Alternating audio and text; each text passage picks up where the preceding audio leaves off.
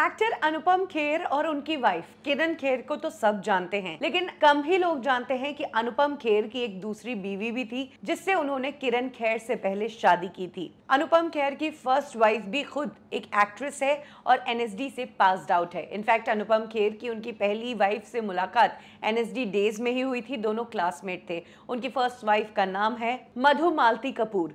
मधु मालती कपूर से अनुपम खेर की मुलाकात एनएसडी में हुई, दोनों के बीच प्यार हुआ और दोनों की अरेंज मैरिज हुई, परिवार की खुशी से दोनों की शादी की गई, लेकिन शादी के बाद इन दोनों की आपस में जमी नहीं। यानी कि इनकी ये शादी बहुत कम दिनों तक चली, जहाँ अनुपम खेर ने मधुमालती से अलग होने के बाद किरण खेर से शादी की। वहीं बात करें मधुमालती कपूर की तो उन्होंने आगे चलकर रंजीत कपूर से शादी की। रंजीत कपूर एक्टर अनु कपूर के भाई हैं।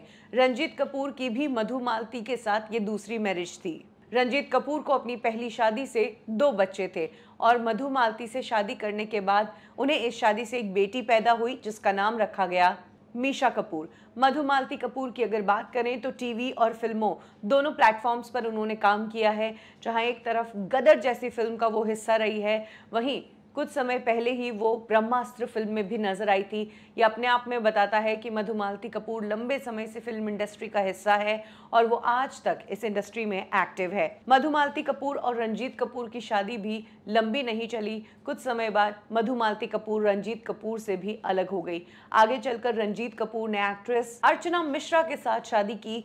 वहीं रंजीत कपूर से अलग होने के बाद मधुमालती ने कभी शादी नहीं की। उनके पास उनकी बेटी मीशा कपूर है। जिसके सहारे वो जी रही हैं।